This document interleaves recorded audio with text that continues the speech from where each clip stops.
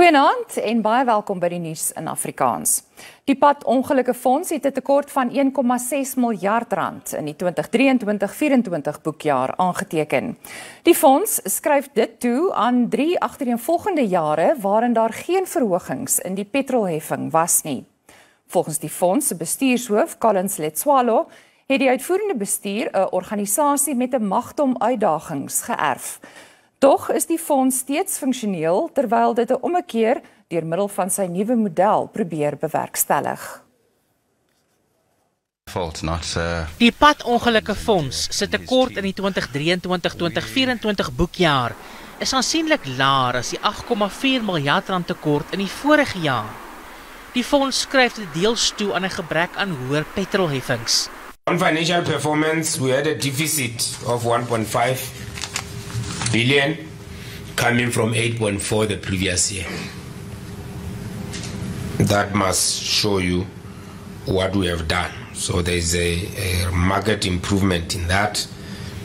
Uh, we would not like to show a surplus. We always want to be somewhere closer to the zero because that's what the social benefit fund must do. You receive money, you pay it out, you don't want to make losses. Die fonds sê hy werk daaraan om die agterstand in eise te verminder. Dit het met 1,2% van die vorige jaar toegeneem. Claims registered 79,377 and uh, claims finalized 63,015 and that must tell you the difference in what is called the backlog because if you register more you finalize less you're going to have a backlog Die padongelukke fonds moedig eisers aan om voorvalle aan te meld waar prokureurs hulle byvoorbeeld inloop deur hulle nie die regte bedrag te betaal nie. Die vakverbond Kusatu sê die beoogde sentrale register waarin korrupte staatsamptenare se name sal verskyn, moet alle oortreders insluit ongeag van hulle posisie. Die minister van Openbare Dienste en Administrasie, Mzamo Buthelezi, het die parlement onlangs ingelig oor die goeie vordering wat gemaak is met die ontwikkeling hiervan. Hy sê dit sal die name bevat van staatsamptenare wat bedank het of afgedank is weens korrupsie. Die minister sê in die toekoms sal daar geen plek vir korrupte amptenare in die regering wees nie. Hy sê daar sal van regeringsdepartemente vereis word om die name van mense wat oorweeg word vir 'n aanstelling te verifieer teenoor die register voor dit gefinaliseer word. 'n Soortgelyke register sal ook vir munisipaliteite ontwikkel word. We are closing every room for people who are colluding in as far as corruption is concerned. But also, a House Chair, I think we must begin to move away now from chasing criminals. Our system should not actually attract uh, corrupt people en unethical people. Kusatu sê hy verwelkom die register, maar dit moet inklusief wees. It has to include everybody.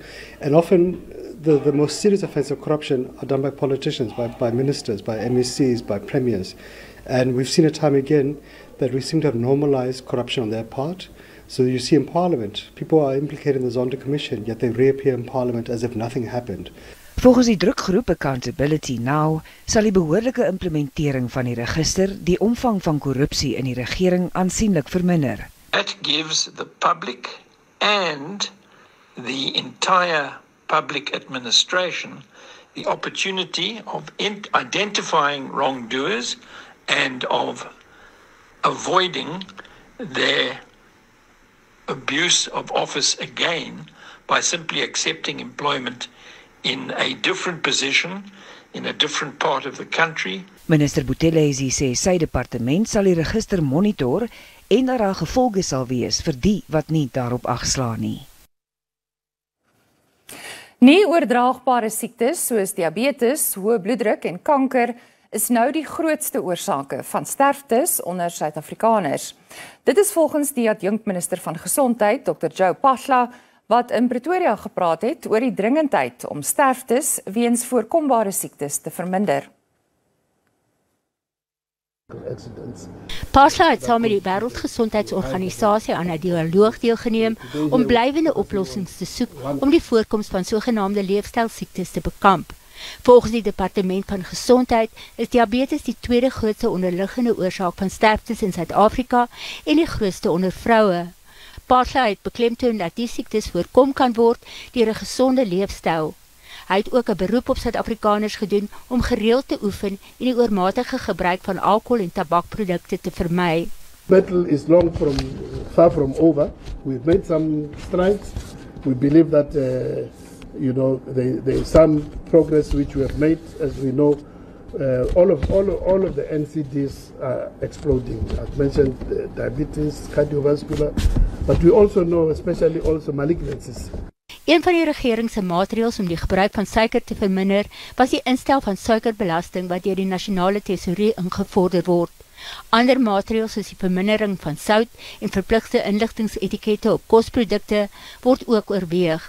Intussen is die WGO besig met 'n ondersoek om vas te stel wat die aanvanklike ontwikkeling van die siektes veroorsaak. The health of women during pregnancy and not only during pregnancy but before even becoming pregnant at the time of conception that the the woman's health and nutritional status appeared to translate into the lifelong health of her offspring Volgens die regering is die vroeë opsporing en diagnose van nie oordraagbare siektes noodsaaklik om komplikasies te voorkom wat uiteindelik tot die dood kan lei.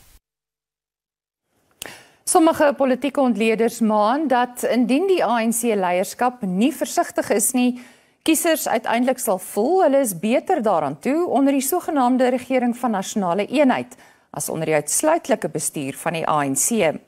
Dit volg nadat president Cyril Ramaphosa sy vertroue uitgespreek het in die veerkragtigheid van die RNE en dat 'n alternatiewe ooreenkoms rampspoedig sal wees.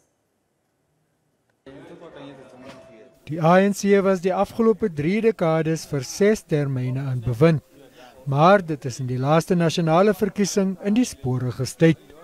Die ANC kon vir die eerste keer in 30 jaar nie 'n meerderheid in die parlement kry nie en moes 'n sogenaamde regering van nasionale saam met 9 ander politieke partye vorm.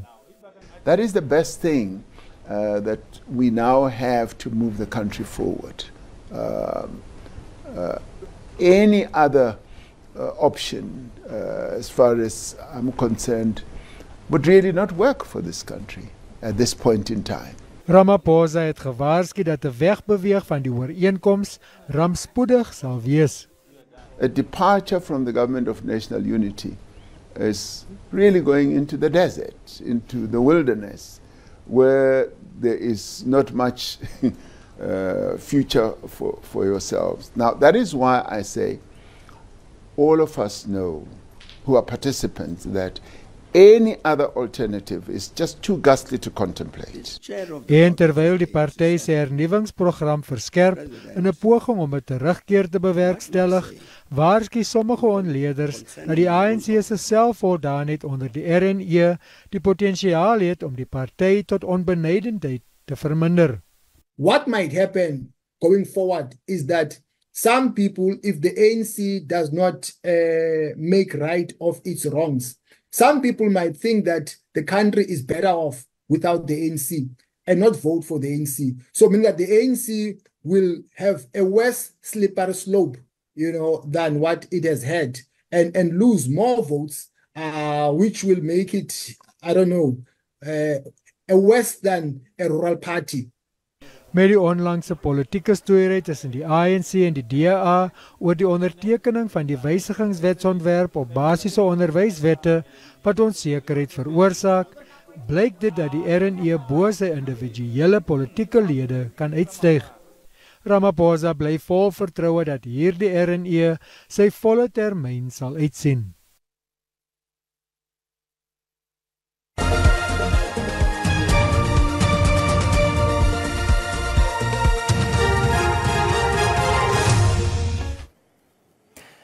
In Mpumalanga is 8 toetsbeamptes en die eienaar van 'n bestuurskool in hegtenis geneem.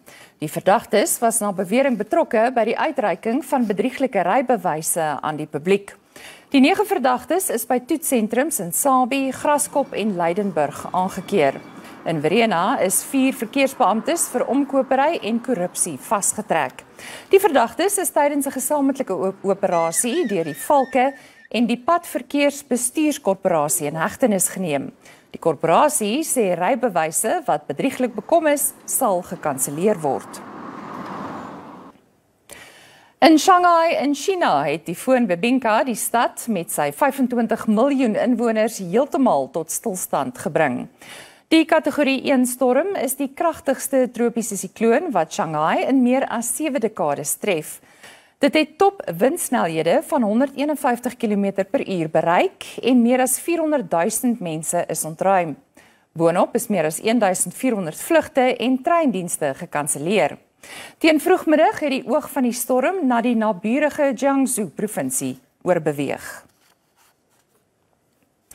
Die man wat verdink word van die tweede beweerde sluipmoordpoging op die Republikeinse presidentskandidaat Donald Trump het sy eerste hofverskyning gemaak. Die 58-jarige Ryan Ralph is gister in hegtenis geneem nadat hy opgemerk is waar hy in bosse buite Trump se golfbaan in Palm Beach in die deelstaat Florida glo gereed gemaak het om die oud president met 'n AK-47 te skiet. 'n Ontspanne roet geboei en in 'n blou tronkuniform het by die hof in Palm Beach aangekom. Die Amerikaanse president Joe Biden erken dat die FSA se geheime diens meer hulp nodig het. Thank God the president's okay. I think we got a full report so far. We're down there tonight, but one thing I want to make clear. The service needs more help. And I think the Congress should respond to their needs if they in fact need more services. Agente van die geheime diens was saam met Trump op die golfbaan toe hulle die loop van 'n AK-47 tussen bosse opgemerk het. Hulle het verskeie kere op die vermeende sluipmoordenaar geskiet wat in 'n motor gespring en weggejaag het. Hy het die AK-47 en verskeie besittings op die toneel agtergelaat. 'n Ooggetuie het 'n foto van die voertuig se nommerplaat geneem en aan owerhede gegee. Die polisie het Ruth 'n rukkie later op 'n snelweg in Palm Beach in hegtenis geneem. Former President Donald Trump is safe and unharmed uh, following a protective incident shortly before 2 p.m. on Sunday at Trump International Golf Club at West Palm Beach. Uh, the U.S. Secret Service personnel opened fire on a gunman located near the property line, and this matter is under investigation. Inskrywings van Ruth op sosiale media dui daarop dat hy 'n fanatiese ondersteuner is van Oekraïne in die oorlog teen Rusland.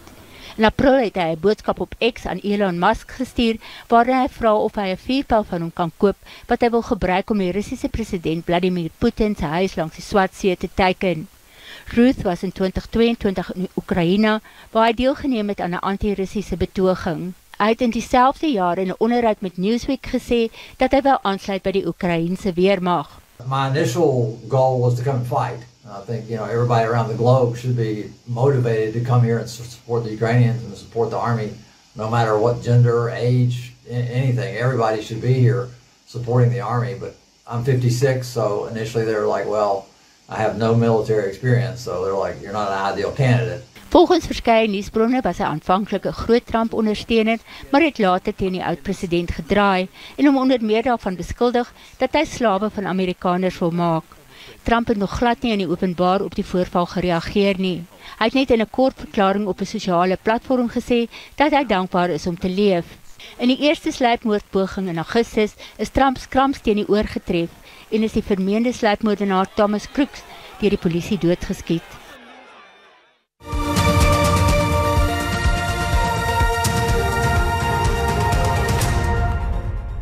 Ons gaan voort. Boere in Renosterfontein in Rustenburg in Noordwes is steeds besig om veldbrande te bestry wat sedert Saterdag in die omgewing woed. Die brande het uitgebreide skade aan vee, eiendom en bewerkbare grond aangerig. Die Noordwes Sambreel Brandbeskermingsvereniging het intussen bevestig dat 'n kind ernstige brandwonde opgedoen het. Agte huise en 'n kerk in Buffelspoort in die Magaliesberg is ook vernietig terwyl veldbrande reg oor die provinsie voortduur. Die veldbrande het reeds duisende hektaar bewerkbare grond verwoes en talle eiendomme vernietig. It started on a Saturday morning coming over the mountains and we are still busy here um, fighting this fire. And we're using big machinery, blowers and uh, uh, beaters to uh, win this fire. Die Noordwes Sambreel Brandbeskermingsvereniging sê 'n ramptoestand moet afgekondig word terwyl die brande dwars deur die provinsie versprei. At the moment, we've managed to stop three fires from starting, but we have a couple of raging fires, one in the Matlosana area, one in the Vredefort Dome again, and then also one in the Magalisberg Mountains. At the moment in our province, all of the fire brigade services are under-resourced. All of the fire brigade services have a lack of manpower, of uh, qualified firefighters and equipment. Unfortunately, the government of the day has not provided enough vehicles and manpower, and this has left the community at risk. Die vereniging sê die situasie sal na verwagting vererger, aangesien daar 'n 75% kans op weggolfveldbrande binne die volgende 7 tot 10 dae is. Nuwe inligting word ondersoek in die saak van die vermiste 6-jarige Jocelyn Smith. Die staat het in die Landdroshof in Vredenburg uitstel gevra gegeewe die verwikkeling. Die kind se ma, Kelly Smith en drie ander word aangekla van onder meer mensenhandel. Jocelyn het in Februarie uit die Middelpos informele nedersetting in Saldanha Bay vermis geraak. Die vier beskuldigdes word aangekla van ontvoering en mensenhandel met die doel van uitbuiting. Die saak sou vandag oorgeplaas word na die Hooggeregshof in Kaapstad, maar die staat sê dit is sy plig om die nuwe inligting te ondersoek. Die NVG verduidelik wat kan gebeur indien die staat volgende maand meer tyd sou nodig hê. The court may uh, ask for an inquiry to find out uh, whether our reasons are genuine and it, it, there is a reason for us to request that. But if we lose that uh, inquiry and we are not allowed to get an, a further postponement, then we'll take a decision on whether to transfer the case to the High Court. Uh, there's the, the case. The emphasis is that the case will not be withdrawn. We've got enough evidence to continue and transfer the case to the High Court uh, based on what we have at this stage. But the issue is there's this new evidence that has come up which uh, necessitates for us to ask for this postponement. Die staat sê afhangende van die nuwe verwikkelinge wat verband hou met die beskuldigdes, kan dit lei tot verdere aanklagte teen hulle. Die saak is uitgestel tot die 21ste van volgende maand en die beskuldigdes bly in aanhouding. Vanessa Puna, SAK-nuus. Vredenburg.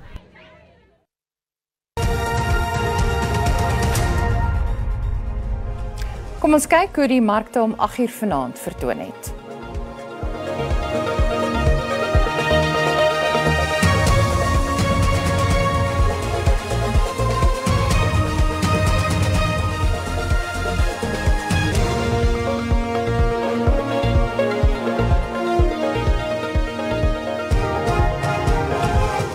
En daarmee moet ons groet tot môre aand. Totsiens.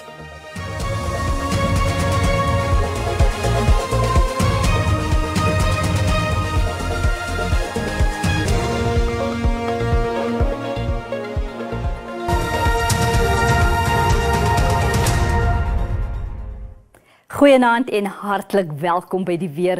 Vir vannag sien ons 'n 60 tot 80% kans vir reën wat verwag word in die noordoostelike dele van die land. Vir môre word reën steeds verwag in dele van die land, 'n 80% kans vir reën in die in dele van die Vrystaat. Dan sien ons ook daar is 'n 80% kans vir reën in gedeeltes van KwaZulu-Natal. Andersins word daar 'n 30% kans vir reën verwag met mooi weer langs die Weskus. Vir vannag is daar 'n waarskuwing uitgereik vir donderstorms wat verwag word in KwaZulu-Natal. Dan is daar ook 'n waarskuwing vir toestande bevorderlik vir ontstaan van weggolfveldbrande wat verwag word in dele van Limpopo. Vir môre is daar 'n waarskuwing uitgereik vir donderstorms. Ons sien dit grootste gedeeltes van die Vrystaat, dele van Noord-Kaap Noordwes en dan sien ons ook daar is ook donderstorms wat verwag word in KwaZulu-Natal. Dan is daar ook 'n waarskuwing vir weggolfveldbrande wat verwag word in Limpopo. Kom ons kyk nou na ons minimum en maksimum temperature. Verspreide bye en donderbye in Gauteng, Pretoria 1728 en dan Johannesburg en Vereniging het dan albei 'n maksimum van 25. Limpopo, mooi weer in die provinsie, Lephalale 2429 en dan Phalaborwa en Burgersfort albei 'n maksimum van 27. Verspreide bye en donderbye in Mpumalanga, Middelburg 1424 en dan Sekunda en Standerton albei 'n maksimum van 23. In KwaZulu-Natal, Pietermaritzburg 1321, Richards Bay 1626 en dan Kokstad 'n minimum van 9 en 'n maksimum van 19. Verspreide bye en donderbye in die Oos-Kaap, Komani 1123, Oos-London 1623 en dan Mtata 1223. In die Weskaap mooi weer en sonnig in Vredendal met 'n maksimum van 24, Beaufort Wes 926 en dan Woester 'n minimum van 7 en 'n maksimum van 24. Enkele bye en donderbye in Noord-Kaap, Kroeman 1427, sonnig in Calvinia met 'n maksimum van 26 en dan Sutherland het 'n minimum van 2 en 'n maksimum van 23. Verspreide bye en donderbye in die Vrystaat, Botawil 1525 en dan Bethlehem 1118. Ons laaste provinsie Noordwes, verspreide bye en donderbye Ottosdal en Lichtenburg het dan albei 'n minimum van 12 en 'n maksimum van 28. Dit is dan al van my en die weerdiens 'n rustige aand verder.